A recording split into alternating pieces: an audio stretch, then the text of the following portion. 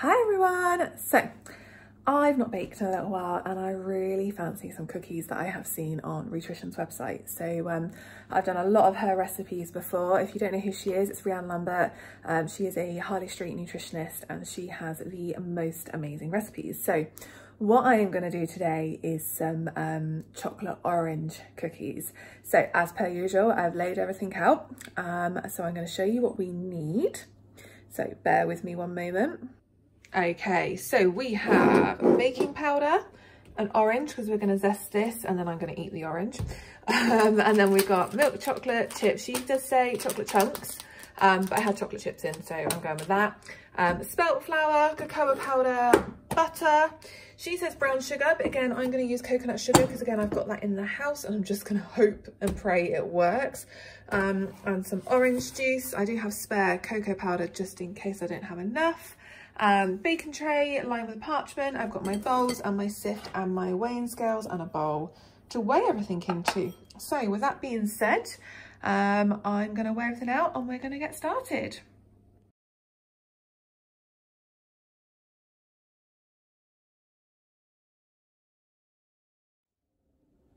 Now as well, before you start, do something I quite often forget, but I have remembered today, and that's put your oven on to heat up. So we are doing this at 180 degrees Celsius.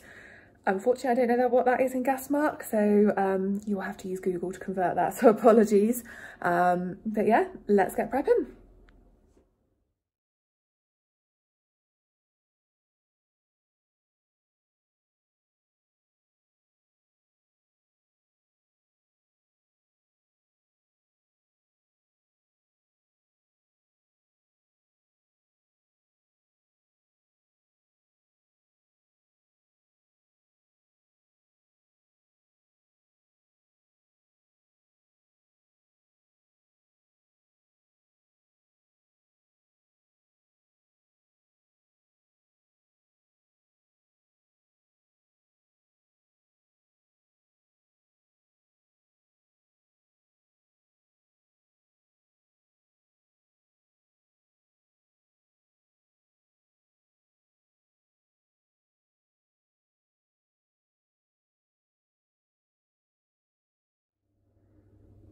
Okay, so that is all mixed together.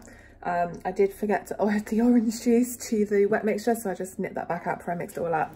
Um, and started again with that bit, um, as you will probably see through the time lapse. Um, so this is now all ready to um, be popped into some balls and put on the baking tray. So let's get that done.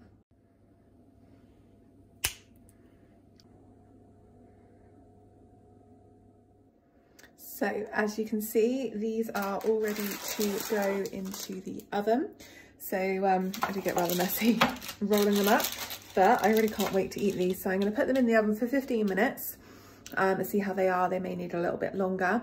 And in the meantime, while that's happening, I'm gonna clean this mess up because if you've seen my recipe videos before, you'll know I don't like mess and I might as well clean whilst they're cooking. Um, and there's not anything to do afterwards really, apart from eat them. So I will see you when they come out the oven.